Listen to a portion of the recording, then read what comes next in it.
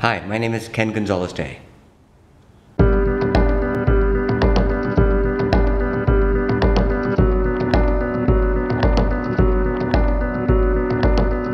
The project began when I was a scholar at the Getty Research Institute, and it began by photographing sculptural works in museums and looking for depictions of race throughout time.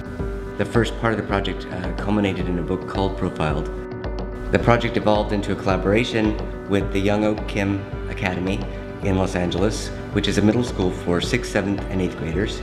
We began with the idea that we would actually photograph all 250 of the 8th graders and that all 250 would have to write an essay.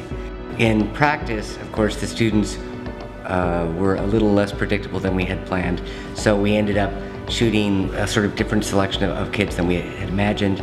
Individual groups like basketball or the science club to dance groups, different organizations that the students are working with, and also ended up including a number of staff. You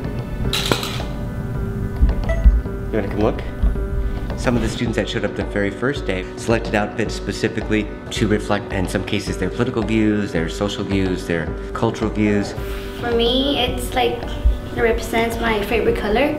Like, this says love, like, you love, right? And then says music, I love music and dance. Normally the students wear uniforms, so this was an opportunity where they could really uh, author their own representation. Well, yeah, you get to like express who you are, kind of with what you wear.